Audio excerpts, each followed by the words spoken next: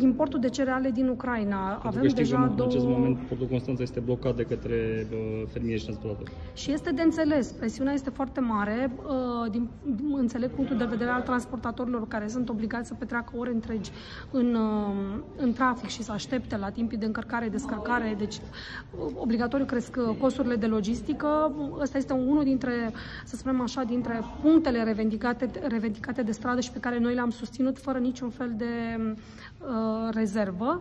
La ce concluzie s-a ajuns?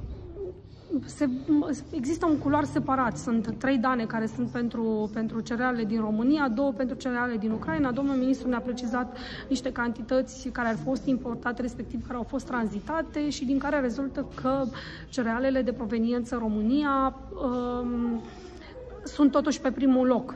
Okay. Dar a fost, a fost de acord asupra faptului că trebuie să implementeze uh, sistemul de monitorizare prin GPS și să urmărim cu mult mai multă atenție uh, tranzitul și importul de cereale din, uh, din Ucraina, respectiv din Moldova. În zilele următoare vom discuta și despre marfa proveniență Moldova.